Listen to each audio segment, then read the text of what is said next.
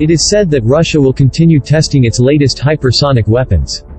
But before going to the video, subscribe and like this video.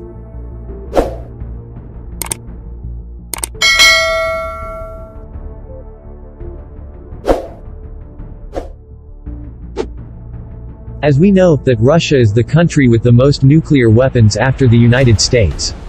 Russia first tested its nuclear weapons in 1949. Quoted from international.sindonews.com, Russia will continue testing its newest hypersonic weapon in the Northern Fleet. This was revealed by Russian Defense Minister Sergei Shoigu to the Defense Ministry Council. According to Shoigu, the latest trials will increase the combat potential of the Northern Fleet as well as other fleets from the Russian Navy.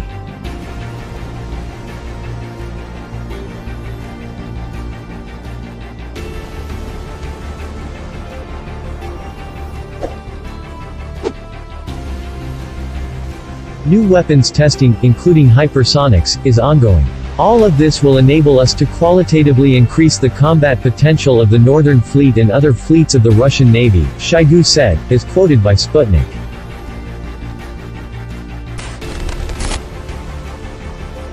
Earlier, Russian Navy Commander Nikolai Evmenov said that the Zircon anti-ship cruise missile test was successful. He also said the first ship to be armed with this missile in the coming years was a frigate-type warship.